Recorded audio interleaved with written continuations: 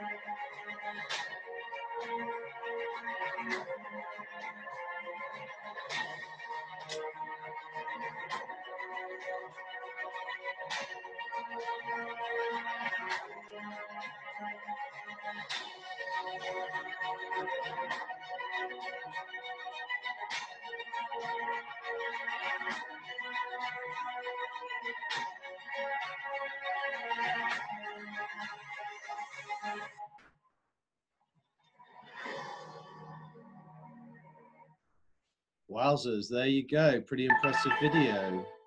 So let me unpack some of those features for you. So today, like I said, we're looking at the X and the Mark III and the Mark II, all very similar cameras within the same range. Oh, hello, Sarah. Let me just admit you, one second.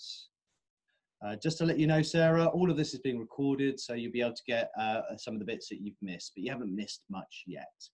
Okay, so the EM1 Mark III. Oh, one sec.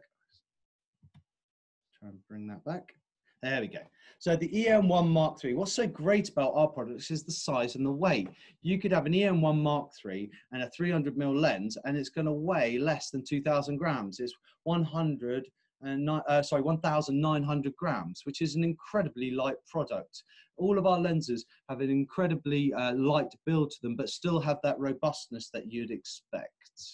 Hello, I'm just letting someone else in again as well. Brilliant. So let me give you some idea of some of the measurements on these products. So things like the 300 mil, you're looking at uh, sort of 1270 grams, which is incredibly light.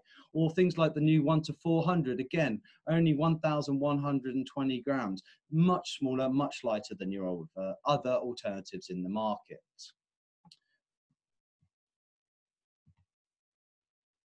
Just waiting for the slide to catch up. There we go, wonderful. One of the best technologies Olympus has is the in-camera stabilization. So on our top end cameras, you can get between seven and seven and a half stop stabilization. So that means on a very good day, I can handhold my camera to what, two or three seconds and it will be absolutely pin tack sharp.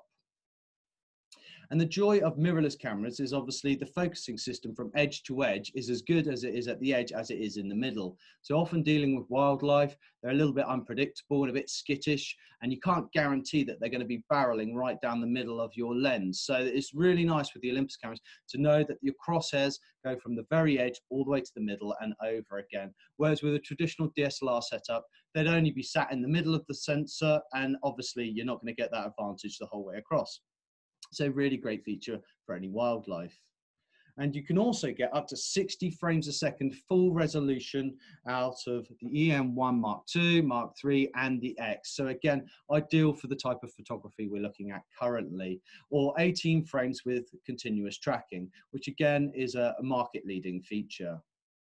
We've even got something called Pro Capture built into our cameras, which again, I'm going to run through on the setup if you haven't come across this yet uh, in a moment. But what happens here is it is a pre-burst mode essentially. So imagine you're waiting for a whale uh, on a boat somewhere in the Atlantic and you're waiting for it to breach and it breaches, comes out the water and slams back down you forgot to press the shutter as you saw it come out because you were so blown away by the experience, but you've pressed the shutter as it's just come out the water.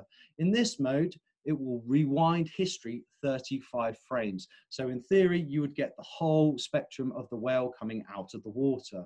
And again, it works really nicely for sort of bird feeder shots like these examples here, especially with things like blue tits and robins, which are so very quick. It gives you the opportunity to go, oh, that was good. And obviously in Pro Capture, you're going to be able to rewind a little bit further than where you are currently. Uh, again, we have a plethora of high quality Pro glass. And as I said, we're going to talk about that in a moment. You've also got in the EM1 Mark III and in the X, a handheld high res mode of 50 megapixels. So this isn't ideal for birds in flight, but it's great for landscape. It's great for uh, non-moving subject matters. Um, I've even done a bit of street photography with this, and it means that I can crop the, the image to bits, but I can also put it on the side of a house if I wanted to, because the resolution is obviously so much higher. We also have something called in-camera focus stacking, which is probably one of my favorite features, especially while we've been in lockdown for COVID-19. Uh, the ability to be able to do stacking uh, with the flowers in the garden, with the, with the insects that are coming in is truly fantastic. And on the EM1 Mark III, Add the X, you can do up to 15 frames of stacking. I normally start at somewhere between eight or nine, but once you get really efficient with this, you can do the full 15, which is again a great feature. And if you want to run through that with me, again, book a one-to-one -one and I'll gladly walk you through step by step. We also have uh, a dedicated night mode on the last two cameras, which means things like your live time and live composite are all in one place and you don't have to dig around in the manual settings. And what's great about live time is it means that you can do some ND or some astral photography. But also with these cameras, you have a built-in live ND filter handheld up to five stops. So again, really useful for river photography. Uh, but if you want to take that a step further, again, you'll probably want filters and the uh, live time feature. And again, that's something that I do a lot of. And if you'd like to chat about that, please um, hook me up for a conversation on that. No problems at all. And what's really nice about our cameras is the ergonomics, the way they're laid out. They're really good for back button focus. Um, and again, back button focus is where you divide the functions uh, from the front to the back and the front and it gives you more control particularly when doing macro and wildlife photography which is the two sort of specialists you guys that are obviously on this would be most interested in so i'm going to walk you through that as well in a moment really well weather sealed kit. You know you can uh, you can get properly drenched as long as you've got a pro lens on there and your camera will be absolutely fine. I often sit my cameras in puddles to get good reflection shots. They're incredibly durable and very well weather sealed products. And as you can see really strong metal chassis underneath USB charge, which is really useless, uh, really, sorry, really useful with mirrorless cameras, particularly because uh, they're so power hungry. You can charge on the go. So when you're having your lunch in the hide, it means you can plug your camera in and start recharging your batteries on the go, which is a really nice feature. We've got the world's best dust reduction system because we invented it on the first E-system cameras. And I've cleaned a handful of sensors in the last nine, 10 years. So again, really effective dust reduction system. You've got a very durable shutter built into these cameras as well. You can do 400,000 shots before you even consider having to have it looked at. So again, real pro end spec. But if you're shooting in silent shutter mode, like most of us are doing for wildlife photography or street photography, you're not even aging that mechanism at all.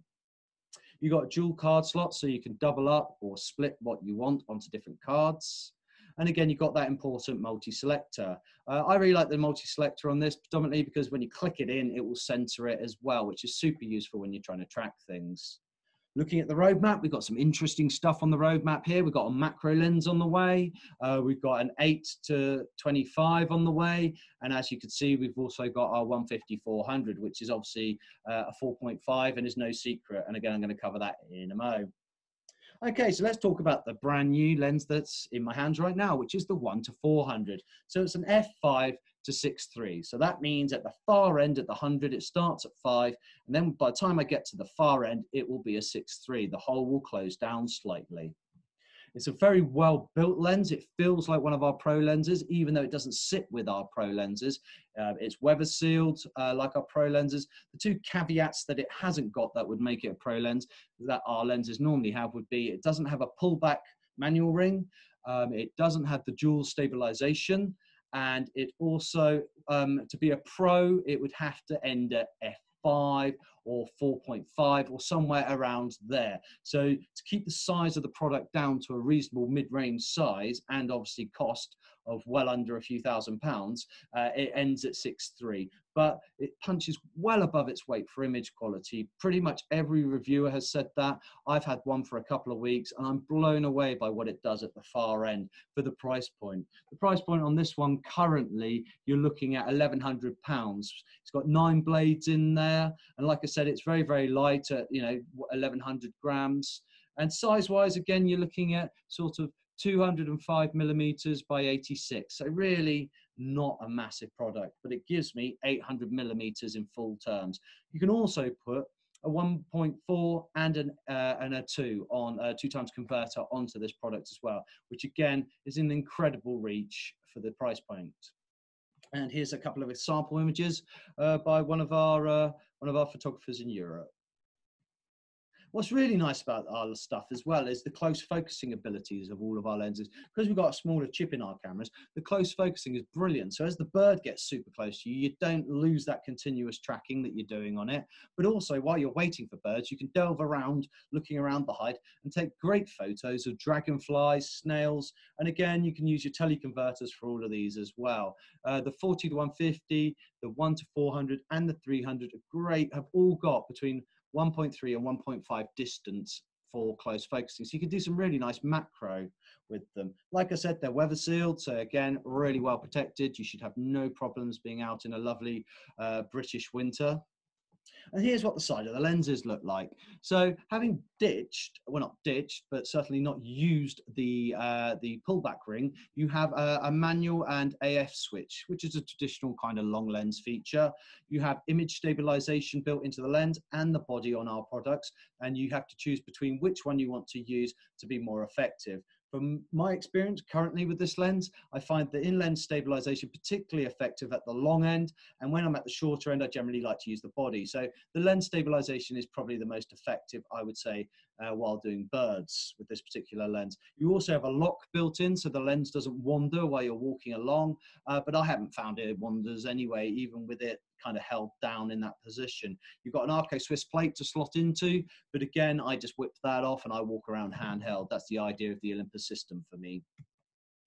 You've also got the ability to do a bit of stacking with this lens, which is fantastic. All our pro lenses do stacking, which means when you're when you find a nice uh, dragonfly or butterfly sat somewhere, it means you can stack it and get the whole creature in and the leaf.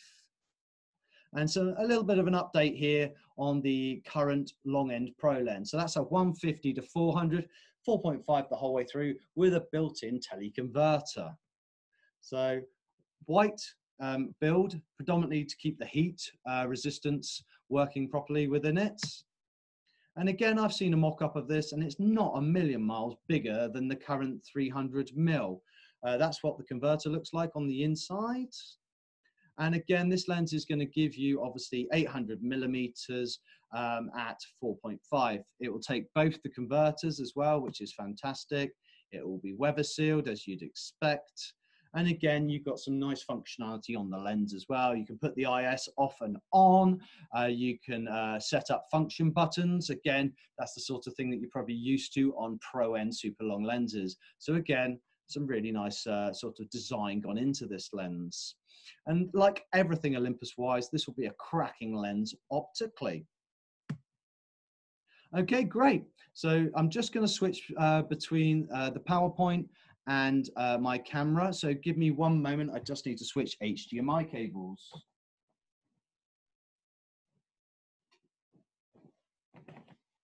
So I'm just plugging in now. Has anyone got any questions while I'm doing this bit? Okay, give me one second. I'm just going to stop sharing the screen and bring my camera up. Brilliant. I always like it when I can see my camera appear on the screen. Fantastic. Okay, so let's start with some of the basics. Uh, so I am on an EM1 Mark III as discussed earlier. Um, I've pressed OK to bring up my super control panel. And this is the main access menu for most things on our Olympus cameras from day to day. Normally, I will start at 800 ISO. Uh, that means on a sunny day, um, it means it's incredibly quick. Uh, but if it's a slightly grim day or a cloud appears, it means I've got the opportunity to get a decent shutter speed in. And I can always dial it back down using my front dial in the viewfinder. Oh, I've just got a question. One second, and let me just grab that.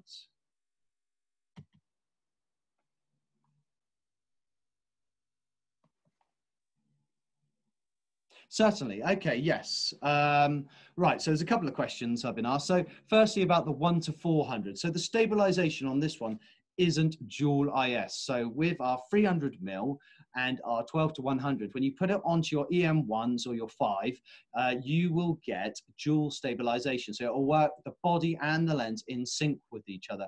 With this new mid-range lens, um, it will not work together. They work separately. You can run them at the same time, uh, but you will find that it probably, well, I found it does slow things down a little bit. So you have to make a choice between using the lens or the body stabilization. And generally, when you're using a, a, this sort of lens, you'll be using the very far end, I suspect, trying to get those little blue tits in the garden. So you'd want to use the lens stabilization. Again, it's playing around with best practice for that. And another question, uh, bird detection. Uh, is that will that be available on the EM1 Mark III? Uh, there is uh, talk of this um, software coming to us. You're just going to have to bear with us on this space. Uh, we will get back to you on that. I can't confirm anything currently on any sort of animal detection, but just watch this space. Okay, brilliant. So let's continue. Brilliant. So I'll press OK and bring up my super control panel and I would normally have it on 800.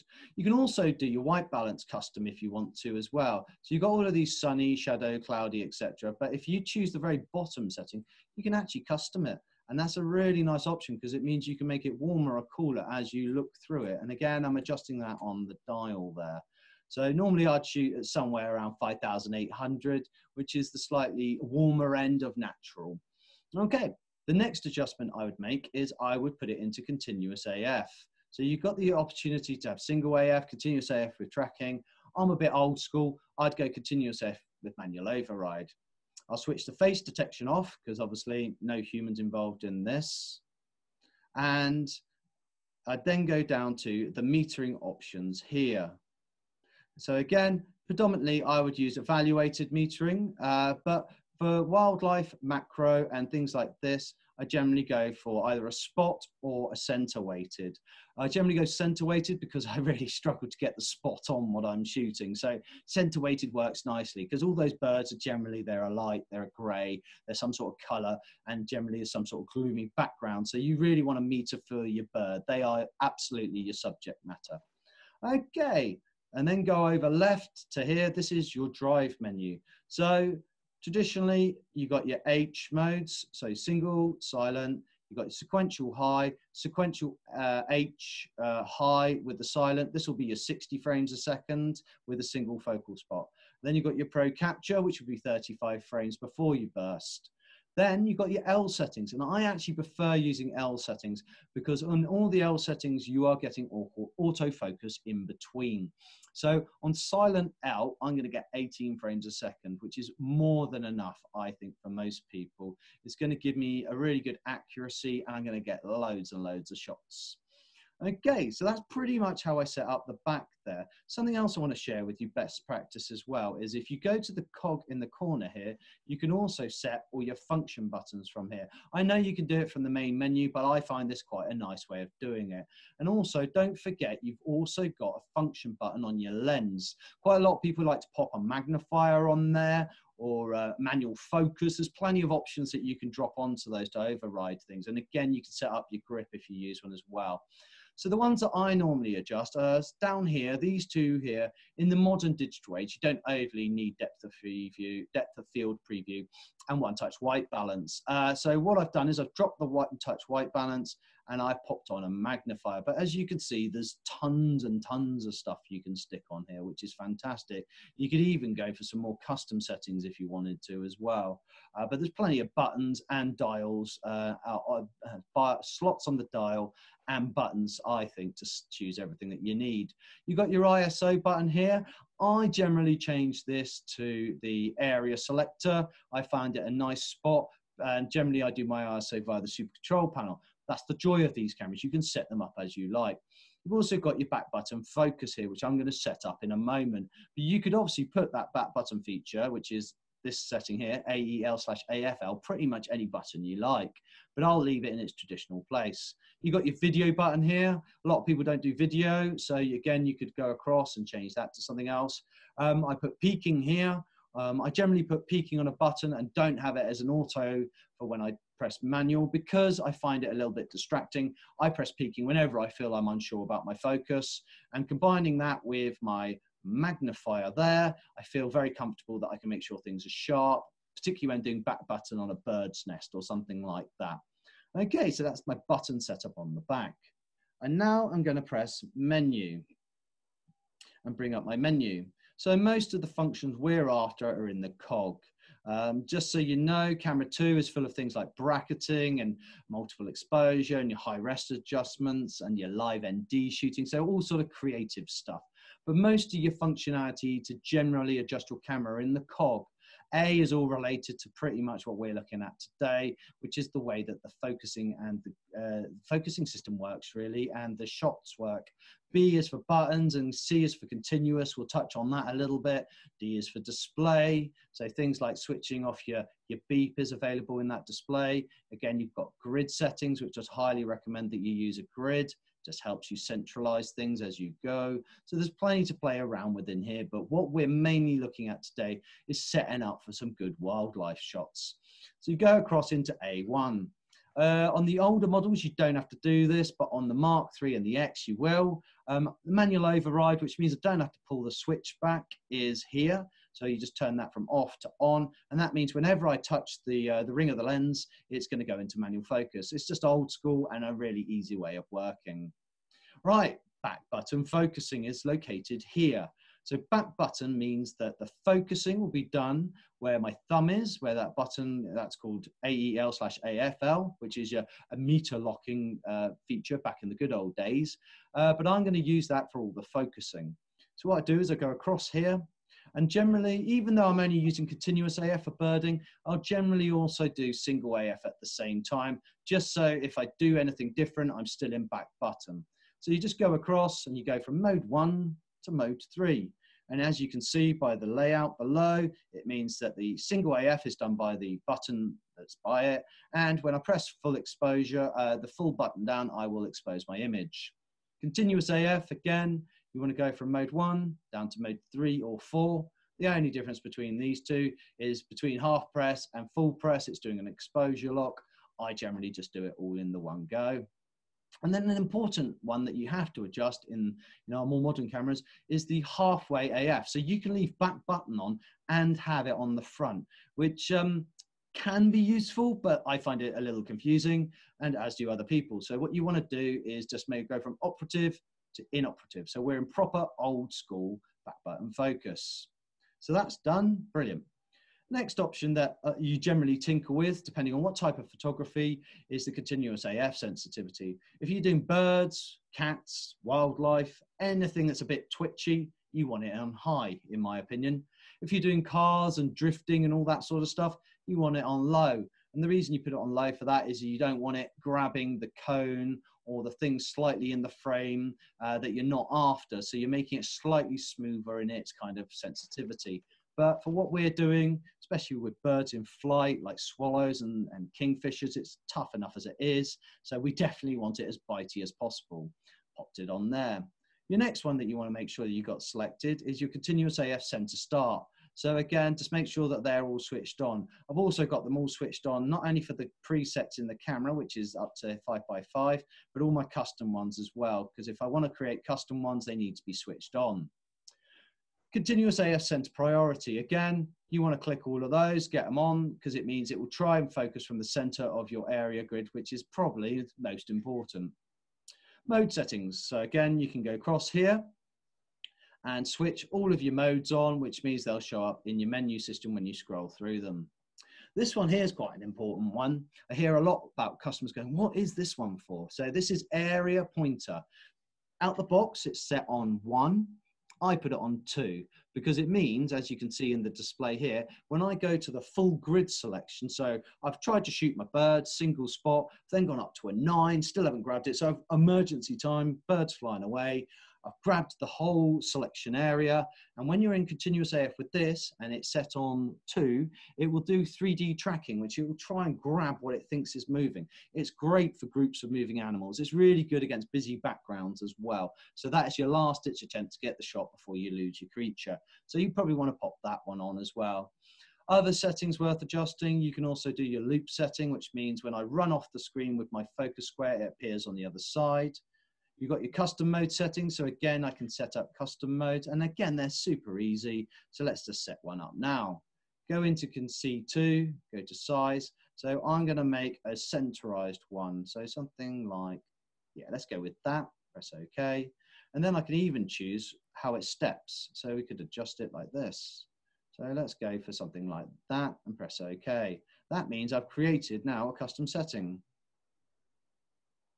Yeah, okay, uh, absolutely. I've just had a question asking uh, possibly to cover what 3D tracking means. So 3D tracking is basically the long and the short is it's looking for animal faces, it's looking for animal shapes. So uh, kind of, yeah, bodies as such and it is going to try and grab a grouping onto that as it's moving out the subject. So I normally think of groups of horses running for some reason when I think of this.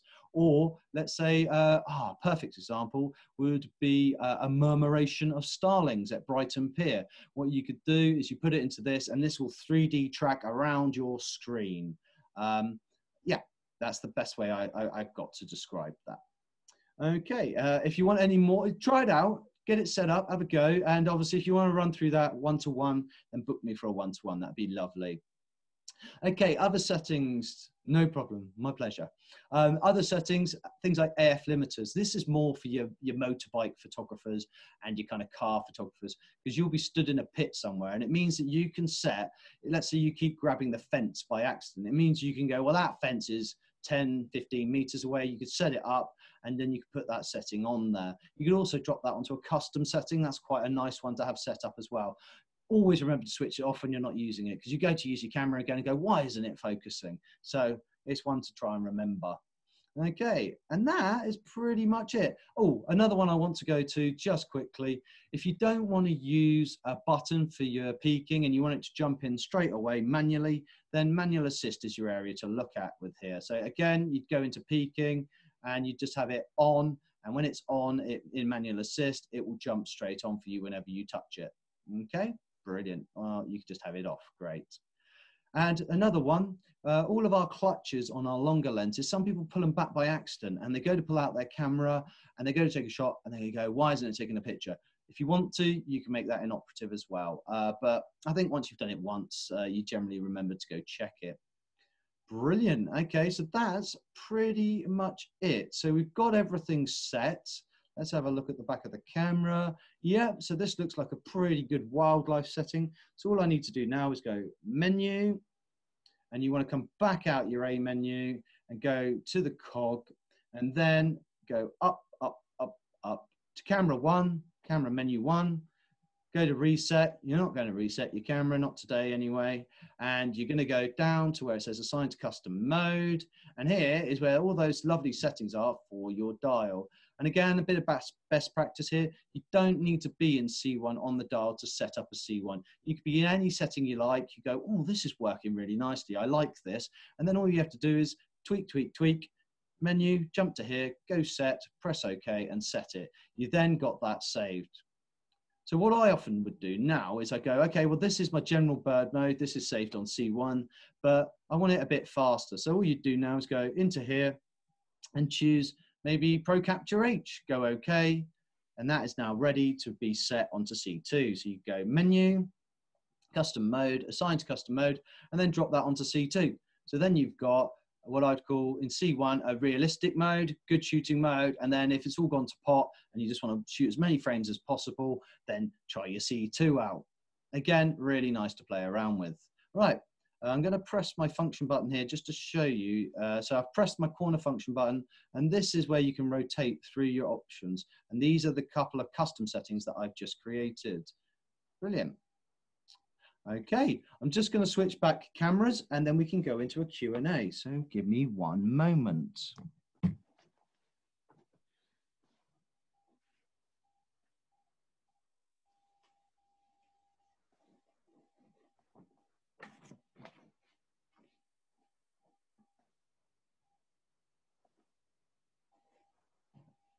Great. So I'm back. Okay, so who has some questions for me? Oh, one second, I'm just going to jump on the focus. There we go. Lovely. Okay, yes, brilliant. I'm in focus now. That always helps. Okay, any questions?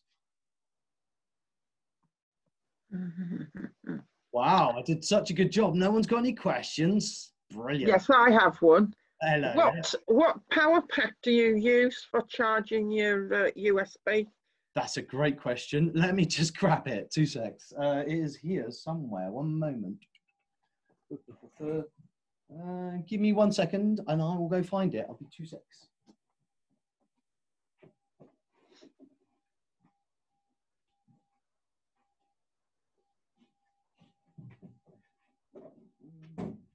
Yeah, I just had it on charge actually. These things are fantastic. So I've got this little blue one here. And what is it called? It's called an OMARS. And it is, what's the power rating on this one? It goes forever, to be honest with you. It takes forever to charge. So the capacity is 20,000 milliamps. So that's a fair whack. Um, I can charge, I've charged endless batteries off this. It's great. And it'll multi charge as well. It's got a couple of different slots. So you can charge your phone and your camera at the same time. But yeah, these are, these are great. I think they're about 30 quid. 40 quid on Amazon. There's loads of them out there. And in the world that we live in nowadays, it's always good to have one in your bag for your phone and whatever else. Great. Anybody else? Hey, Jez, um, I have a question about ISO. Um, Okay. So um, I've discovered that if I go with ISO 200, for example, I can I can stretch it by at least three stops, I think, in post. So when taking pictures, do you suggest we should lock the ISO or should we uh, keep it variable? That's a great question. That's a really good one. Yeah. Um, what really improved my photography for me was when I stopped using things like um, auto ISO because I think with a bit of experience, uh, you know, like wildlife or whatever your niche is, you generally go right. Well, the shutter speed that really works is this. So for me as a street photographer, I want everything about 500th of a second. Generally, I want no, you know, no loose hands or bits where people turn and end up with a, you know, slightly softness here or there. And with wildlife, you have to up it even more. For me, it's always in a couple of thousandth of a second. Uh, so as you push that ISO up, obviously your dynamic range is increasing, but at the same time, you've got to get a sharp picture. So it's always going to be a bit of a balancing act between getting that right. So that's why I'll generally start at 800 ISO and I'll take a couple of pictures and go, well, there, you know, there, you know, everything's pretty sharp. The birds look okay. And then I'll start bringing down that ISO. And then you find that sweet spot between image quality, dynamic range, but it's sharp. Got it. Thanks so much. Yeah, no, my pleasure. Unfortunately, it's just one of those trial and error jobs. But if you're shooting in RAW and you're using Lightroom or Capture One, I mean, Capture One's the one we really recommend. That's the one that all our ambassadors use. I know it's a bit clunky as software goes. Um, compared to other things that are a little bit slicker, but it is the best for noise reduction. And obviously, when you're cropping in for birds and stuff like that, I think the golden rule is don't crop in more than a third. I find use the teleconverters and then try not to crop at all is, a, is probably the best approach. But sadly, the birds are never close enough, are they? Okay. Uh, any any more questions? Anybody? Yeah, if I- can, please. Yeah, of Uh, course. Uh, during the, you were discussing the, the, the, the pro lenses, and you mentioned, as I understand it, that you can do photo stacking with it. Mm. I'm confused about that because I thought photo stacking was, you know, controlled by the camera. So you don't need a special lens to do the photo stacking with, do you? No, no, no, no. So what's really great about the software that's in the body of the EM5s, so the Mark IIIs particularly, and your EM1s, Mark 1, Mark 2, Mark 3, and the X, is the ability to stack it in the camera. There's limited lenses. Golden rule is predominantly it's the pro lenses. So things like where it works really well is things like my lovely little 60 mil macro. That's an incredible lens to do stacking with because it will just give you that extra depth that you need. Uh, but yeah, all of these lenses work as really, I shouldn't tell you that because you should buy macro lenses. But if you've got one of these long lenses, they are pretty good for a macro effect, certainly. And you, you're a fair distance from your subject as well. So kind of work really well. No, I, I haven't got any pro lenses, unfortunately. I've got a 35 mm macro and I've got the 150 to 300. I find they're all very good, but I've never actually tried photo stacking. I've got the 14 150 and whatever else, you know. But I've never tried. Could I still use that if I had the three, for example? Yeah, Uh, no, so the, but your 30 mil will do stacking. It will. Okay. Yeah, yeah, yeah. So get on in there. And the 30 mil's nice to use for that because it's so easy. You just get in nice and close. And um, Yeah, it was brilliant lens. Yeah. yeah, yeah, no. Have a go yourself. See how you on. But if you if you're having a trouble, just um, email me back after this, and uh, I'll, I'll walk you through it. No problem, sir. Cheers, Jez. Thank you. No, my pleasure. Thank you for inviting me back from this morning. Oh, that's no problem, sir. No problem. Anybody else? Okay, great. Well, thank you so much for your time. It's really appreciated. And obviously, in this difficult uh, COVID 19 period, uh, sorry I couldn't see you in person. So hopefully, next year we can do Bird Fair properly and I can be talking to you face to face, whether it's at Bird Fair, Park Cameras, or, or your local London Camera Exchange. But stay safe, everyone, and enjoy your shooting. And I can't wait to see you all in person at some point in the near future. Stay safe, everyone. Thank you. Thank Thank you. you very much. Okay, bye bye. Brilliant.